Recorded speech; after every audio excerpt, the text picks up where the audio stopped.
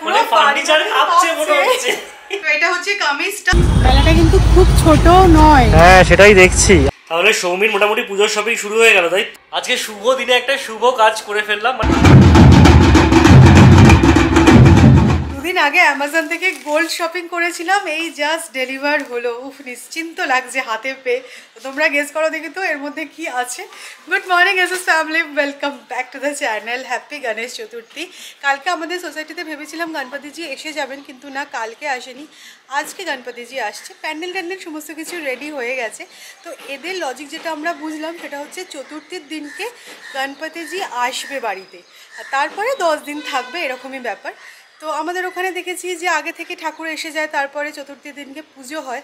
এখানে গণপতিজিকে এনেই সাথে সাথে আর কি পুজো হবে, সেরকমই ব্যাপারটা যেটা বুঝলো। কালকে সৌরভ নিজেও গেছিল। তো যাই হোক, চলো, আজকে তো বেশ মানে সাজো সাজো রব, সোসাইটিতেও পুজো টুজো হবে।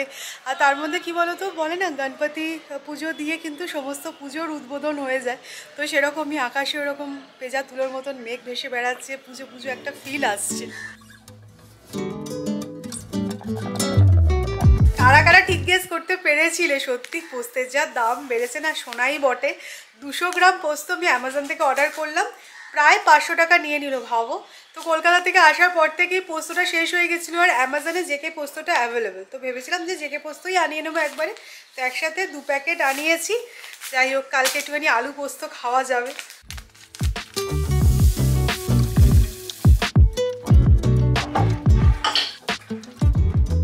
লাস্টবারের মতন এবারেও আমি গোপালের জন্য মোদক অর্ডার করলাম। এটা কিন্তু ক্ষীরের মোদক নয়, এই স্পেশাল দিনেই এটা পাওয়া যায়। উকাডিচে মোদক মানে যেটা লেখা আছে আমি সেটাই বলছি, আমি জানি না আমি ঠিকঠাক প্রোনাউন্স করতে পারলাম কিনা। এটা না অনেকটা আমাদের সেই পিঠের মতো। তো এবারও গোপালকে আনিয়ে দিচ্ছি। আমার তো গণপতিজি নেই, তো সেই কারণে গোপালকেই একটুখানি মোদক খাওয়ানো যাবে।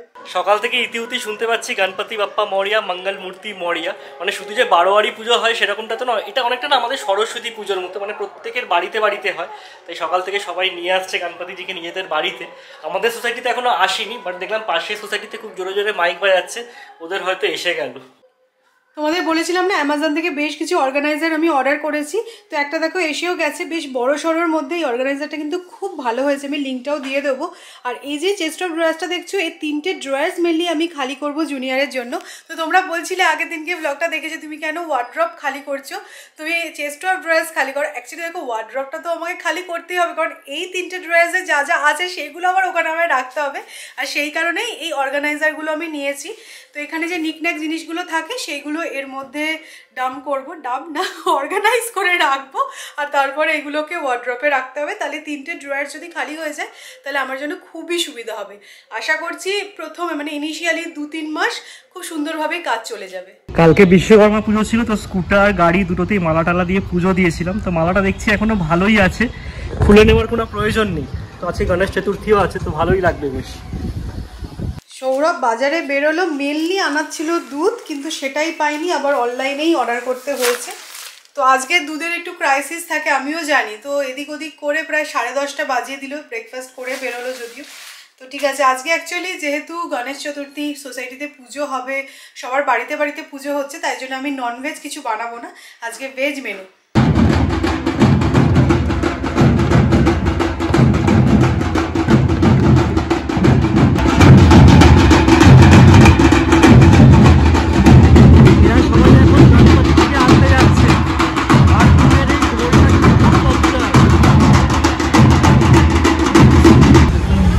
আজকে এই দোকানটায় দেখেছ কি ভিড়? সবাই নিয়ে যাচ্ছে।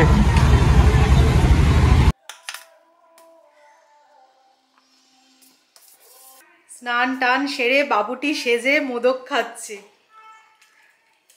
এটা হচ্ছে অরিজিনাল মোদক। হুম ভালো লাগছে? হুম। যদিও মানে এমন করে জিজ্ঞাসা করছি যেন আমি বানিয়েছি। তো দেখো এখানে নারকেলের। পুর আছে। গুড় দেওয়া। লাঞ্চে প্রিপারেশন শুরু করে দিয়েছি। আজকে আমি ছানার কোফতাকারি বানাবো সেই কারণে দুধটা আজকে খুব ইম্পর্টেন্ট ছিল। তো ছানা কাটিয়ে জলটা ঝরিয়ে নিয়েছি, আর তারপর এর মধ্যে অ্যাড করে দিচ্ছি আদা বাটা রেড চিলি পাউডার জিরে গুঁড়ো। তোমরা না ভাজা জিরে গুঁড়োও অ্যাড করতে পারো, আমার কাছে নেই বলে আর দিইনি। গরম মশলা দিলাম, স্বাদ মতো নুন একটু মিষ্টি দিয়েছি। ওয়ান টেবিল স্পুন মতন অ্যাড করছি মিল্ক পাউডার এটা না খুব সুন্দর একটা ফ্লেভার আনবে। আর দিয়ে দিচ্ছি বাইন্ডিংসের জন্য কর্নফ্লাওয়ার তোমরা চাইলে এখানে ময়দাও অ্যাড করতে পারো বা দুটো মিক্স করেও অ্যাড করতে পারো। কিন্তু আমি টু টেবিল স্পুন মতন কর্নফ্লাওয়ারই অ্যাড করেছি। এবার ভালো করে এটাকে মেখে নেব। যেরকম আমরা আটা বা ময়দা মেখে থাকি, একদম মিহি করে আর তারপরে গোল গোল শেপ করে ফ্রাই করতে হবে। তোমরা চাইলে চ্যাপটা চ্যাপটা করেও একটু ভেজে নিতে পারো। কোফতার মানে শেপটা কীরকম দেবে তোমাদের ওপর ডিপেন্ড করছে। অনেকদিন পর জানো তো, এই রেসিপিটা হঠাৎ করে মাথায় আসলো, নিরামিষে কি বানাবো করতে করতে ওই পনির রান্নাই হয়ে যায়। তো আজকে মনে হলো যে না, পনির বানাবো না কোফতা কারি বানাই। আর কারিটা যে বানাবো একদম সিম্পল প্রসেসে বানাবো। কোফতাগুলো ফ্রাই করে তুলে নিয়েছি, এবার মিক্সিং জারে অ্যাড করছি আমি দালচিনি, ছোট এলাচ। আর বেশ কিছুক্ষণ হলো আমি কাজু আর কিশমিশ। সোক করে রেখেছিলাম, সেটাও অ্যাড করে দিলাম, দিচ্ছি টমেটো, আদা আর কাঁচা লঙ্কা। এবার অল্প একটু জল অ্যাড করে এটার একটা মিহি পেস্ট বানিয়ে নেব। ছানার কোফতা কারিতে তোমরা চাইলে আলু অ্যাড করতে পারো বাট আমি অ্যাড করব না। আর এই যে গ্রেভি প্রিপারেশনটা তোমাদেরকে দেখাচ্ছি, এটা না পুরো অলরাউন্ডার মানে যে কোনো নিরামিষ গ্রেভি প্রিপেয়ারের জন্য এই সেম প্রসেসে তোমরা গ্রেভি বানিয়ে নিতে পারবে। মানে পেস্টটা জাস্ট বানিয়ে নাও, আর তারপরে সানফ্লাওয়ার অয়েলের মধ্যে তেজপাতা অ্যাড করে পেস্টটা দিয়ে দাও। এবার আমি এখানে অ্যাড করেছি জিরে গুঁড়ো আর ধনে গুঁড়ো আর কিছু মশলা অ্যাড করিনি, যেহেতু কাঁচা লঙ্কা অ্যাড করা ছিল, তাই জন্য আর রেড চিলি পাউডারও অ্যাড করিনি। এবার টক দই দিয়ে ভালো করে কষিয়ে নেবে। নুন আর মিষ্টি অ্যাড করতে হবে। ভালো করে অয়েলটা রিলিজ করলে ঈষদুষ্ণ জল অ্যাড করো। ফুটতে শুরু করলে কোফতাগুলোও অ্যাড করে দিলাম দ্যাটস ইট আর লাস্টে আমি কাঁচা লঙ্কা আর গরম মশলাও অ্যাড করেছি। ছানার কোফতা কারি অলমোস্ট রেডি এবার জাস্ট একটুখানি ফুটিয়ে নিচ্ছি গ্রেভিটা যাতে ছানার কোফতাগুলোর মধ্যে গ্রেভিটা ঢোকে আর ছানার বলগুলো যাতে একটুখানি সফট হয়। তো এই প্রসেসে না একবার ট্রাই করে দেখো। এখন আমি একটু শর্টেই রান্না করছি সত্যি কথা বলতে। তোমরা দেখলে লাস্ট দিনকে আমি যেই ফুলকপির একটা রোস্টের রেসিপি তোমাদের সাথে শেয়ার করেছিলাম, ওটাও কিন্তু সেম গ্রেভি বানিয়েছিলাম, যাতে খুব বেশি আর কষানোর ব্যাপার না থাকে, একসাথে দিয়ে সব কিছু হয়ে যায়। তো নিরামিষ যে কোনো রান্না এই গ্রেভিটা দিয়ে ট্রাই করে দেখো, খুব কিন্তু ভালো হচ্ছে খেতে। তো আমি এখানে মিষ্টিটা একটুখানি কম ইউজ করেছি, তোমরা কিন্তু পরিমাণ মতো মিষ্টি দিও, কারণ ছানার কোফতা কালিয়া নিরামিষেই হয় জেনারেলি তো এটাতে কিন্তু একটু মিষ্টি মিষ্টি হলে বেশি ভালো লাগবে। আজকে খুব সুন্দর একটা মিড উইক ব্রেক মানে মঙ্গল বা বুধবার যদি এরকম ছুটি থাকে না, দারুণ লাগে। আর আমাদের এই বগুনভিলা গাছটা না এত সুন্দর দেখতে লাগছে ছবি সবাইকে ছবি তুলে তুলে পাঠাচ্ছে। মাকে পাঠিয়েছে, দিদিকে পাঠিয়েছে, ওর মাকে পাঠিয়েছে। না, দারুণ লাগছে কিন্তু। কালারটা খুব সুন্দর ইনফ্যাক্ট গাছটা লাঞ্চ সার্ভ করে দিচ্ছি। ছানার কোফতা কারিটা একটু বেশি করেই বানিয়েছি যাতে রাত্রেবেলাও এটা হয়ে যায়। জাস্ট রুটিটা বানাবো। আর সৌরভের যেহেতু ছুটি আছে আজকে সৌরভ বানিয়েছে ফ্রাইড রাইস জেনারেলি বাড়িতে ফ্রাইড রাইস হলে সৌরভ বানিয়ে আগে থেকেই চুক্তি হয়ে গেছিল। হ্যাঁ। ওই কারণেই সৌমি ছানাটা বানিয়েছি। না আমি বানিয়েছি বলে তুমি ফ্রাইড বানিয়েছো। Whatever. এই নিরামিষ দিনে একটু মানে পোলাও টোলাও হলে হ্যাঁ, ভালোই ভালোই লাগে ফ্রাইড রাইস আর কিছু করতে হলো না। কারণ যদি ভাত করতাম তাহলে তো শুধু ছানার কোফতা কারি দিয়ে হতো না। ঠিক আছে চলো।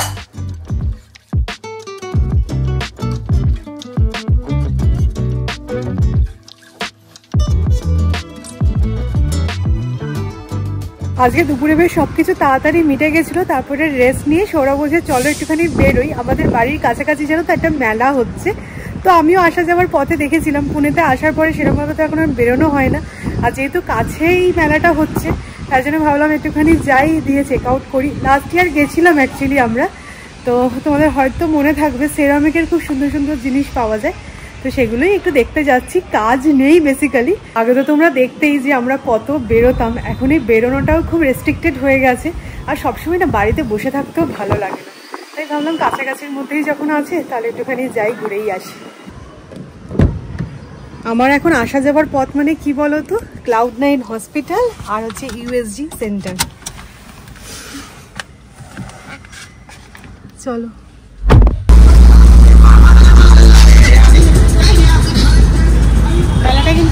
ছোট নয়। হ্যাঁ সেটাই দেখছি। আগের বার খুব ছোটই ছিল। এবার বেশ বড় করে করেছে। এখন তোমরাও দেখো, খুব বেশি আর বেরোনো হয় না। তাও আজকে সৌরভের কথা শুনে বিকেলবেলা একটুখানি বেরোলাম আর এই মেলাটায় এসে বেশ ভালোই লাগছে। আগের বছরেও এসেছিলাম, না তখনই দেখেছিলাম এখানে সেরামিকের জিনিস প্রচুর বিক্রি হয়।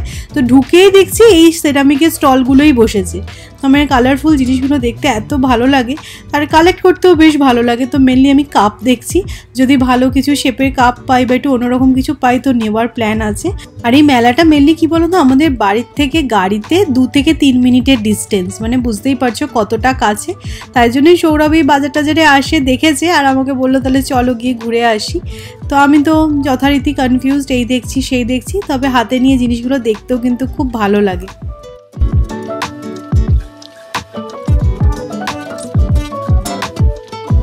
তো যাই হোক, এইসব হলো। এবার চলো ভেতরের স্টলে কি কি এসেছে সেগুলো দেখি। আর ভেতরের স্টলটাও বেশ সুন্দর করে সাজিয়েওছে। আর স্টলগুলো দেখতে পাচ্ছি, বেশ ফাঁকা ফাঁকাও আছে কিন্তু। মানে ঘুরে দেখতে কিন্তু কোনো অসুবিধাই হবে না। আর এখানে এমনি কুর্তি, সালোয়ার, ঘর সাজানোর জিনিস, শাড়ি মেনলি আমি দেখলাম প্রচুর এসেছে। তো সেগুলো একটু চেক আউট করছি। এখানে চিকেন কারি কুর্তিগুলোও এসেছে দেখলাম। তো প্রিন্টেডের ওপর চিকেন কারি কুর্তি আমার একটাও নেই, তো সেটা একটুখানি দাম করছিলাম। তবে এগুলো না কটন মেটেরিয়ালের নয়। আর মেটেরিয়ালটাও আমার খুব একটা ভালো লাগল না। তো সেই হিসেবে আমি আর নিলাম না। লাস্ট ইয়ার আমার মনে আছে, আমি এখান থেকে চাদর নিয়েছি।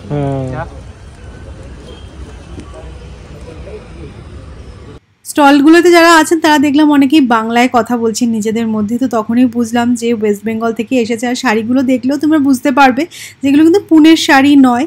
তারপর এরকম এমব্রয়ডারি কাজ করা, কুর্তি, এগুলো কিন্তু সবই ওনারা মানে ওয়েস্ট বেঙ্গল থেকেই নিয়ে এসেছেন। তো এটাও বেশ ভালো লাগল যে অনেকেই দেখলাম এখানকার যারা আর কি মহারাষ্ট্রিয়ান, তারাও নিচ্ছে, দেখছে। তো এটা খুব ভালো লাগল। তো আমি এমনি মেনলি এই কুর্তিগুলোই দেখছিলাম আর একটুখানি দাম করছিলাম। এমব্রয়ডারি কুর্তিগুলো দেখতে খুব সুন্দর ছিল। তো প্রাইসগুলো মোটামুটি ঠিকঠাক ছশো সাড়ে ছশো এরকম দাম চাইছিল।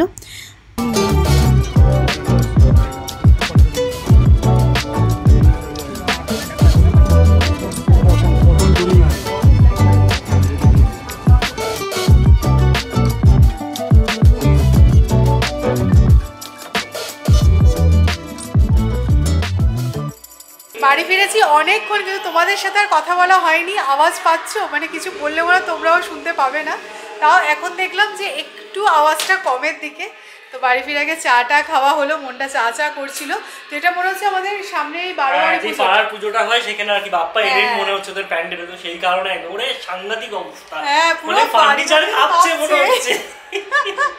ডিজে ডিজে বক্স মনে হয়। নিচে বক্স দিয়েছে স্পটলাইট ফটলাইট নাচা নাচি মানে এটা যাতা ব্যাপার। না বেশ ভালোই লাগছে গো মনটা বেশ একদম ফেস্টিভ ফেস্টিভ মনে হচ্ছে।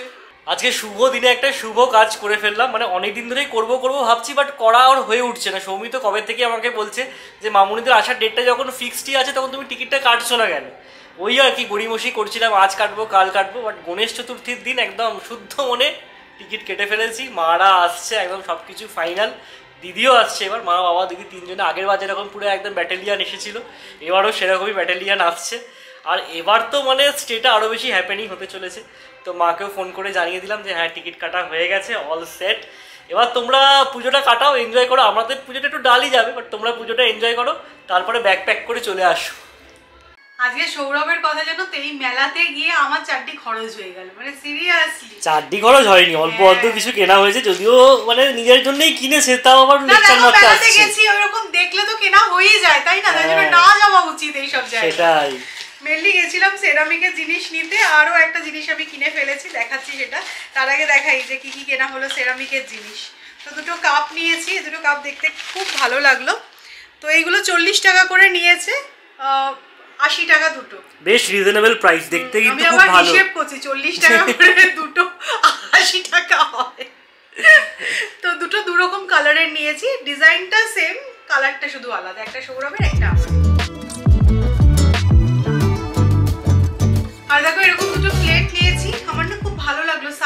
খুব ভালো। স্ন্যাক্স ট্যাক্স খাওয়ার জন্য একদম অ্যাপ্রোপ্রিয়েট আর একটু যেহেতু কানা উঁচু আছে না এটাতে মানে সার্ভ করলেও খুব ভালো লাগবে।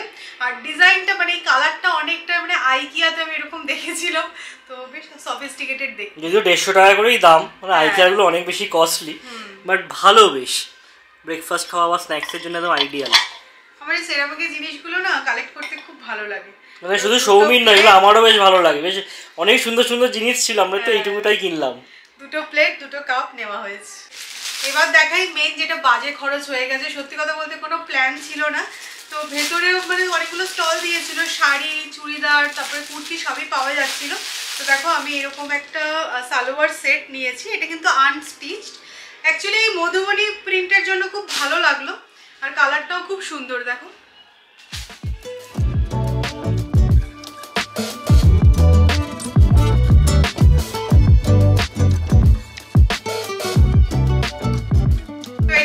কামিজটা পুরো অল ওভার দেখো এরকম মধুবনী প্রিন্ট করা আছে।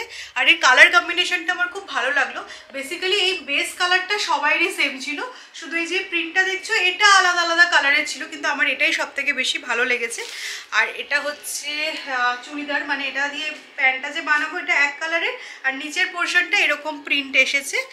আর দুপাট্টাটা দেখো, এরকম পুরোটাই মধুবনী প্রিন্ট করা আছে।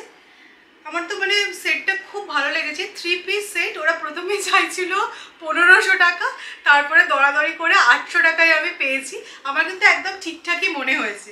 এটা সুন্দর করে মানে বানিয়ে ফিটিংস করে পরলে কিন্তু খুব ভালো লাগবে দেখতে। তাহলে সৌমির মোটামুটি পুজোর শপিং শুরু হয়ে গেল তাই তো? শুরু হলো না শেষ হয়ে গেল। এবার আমি ডিসাইড করে নিয়েছি পুজোতে খুব বেশি কিছু কিনবো না কারণ সাদে আমি প্রচুর শাড়ি পেয়েছি। কি আর পুজোয় কিনবো? এবারে পুজোয় বেরোনোরও সেরকম প্ল্যান নেই। না সৌমির অ্যাকচুয়ালি মন খারাপ যে দুর্গাপুজোয় কোথাও বেরোতে পারব না আমি কোথাও কিচ্ছু কিনবো না ওই কারণে। না আমি সব জমিয়ে রাখছি পরে কিনবো পরে প্রচুর বেরোবো তখন ওইগুলো কাজে লেগে যাবে। এখন দেখো এই পিসটা আমি বানাতে দেবো না কারণ এখন তো বুঝতেই পারছ একটু মোটা সোটা হয়ে গেছি আবার সে জানুয়ারি ফেব্রুয়ারি করে এগুলো সব বানাতে দেবো। আমি জাস্ট নিচ থেকে আসলাম, আমাদের গণপতিজির আরতি হলো। অ্যাকচুয়ালি ওখানে আর কিছু শ্যুট করিনি কারণ আজকে ওখানে প্রচণ্ড ভিড় ছিল। কালকে ফাঁকায় ফাঁকায় তোমাদের আমাদের সোসাইটির গণপতিজিকে দেখাবো। অ্যাকচুয়ালি আমি একাই গেছিলাম, সৌমিও যাইনি এখন কি হচ্ছে বলো তো ও যদি কোনো একটা কাজ, একটা স্ট্রেচ কিছু করে না, তারপর হাঁপিয়ে যাচ্ছে বড় টায়ার্ড হয়ে যাচ্ছে। মানে এই যে আজকে বেরিয়েছিল ঘণ্টা দেড়েকের জন্য, তারপরে এসে যেন বলছে, আর পারছি না, ভালো লাগছে না, শুনে। বললাম, ঠিক আছে, তুমি রেস্ট করো। ওই কারণে লাস্ট দুটো দিন না ভিডিও দিলাম। আমি বললাম, তুমি একটু রেস্ট করো রেস্টটা প্রচণ্ডভাবে দরকার। এখন এই ফেজে এসে ওকে একটু সাপোর্ট করাটাও আমার দায়িত্ব। তো যাই হোক, ঠিক আছে, আজকের ব্লগটা যদি ভালো লাগে থাকে, তাহলে অবশ্যই করে লাইক করো শেয়ার করো। আর যারা নতুন দেখছ প্লিজ চ্যানেলটাকে সাবস্ক্রাইব করো।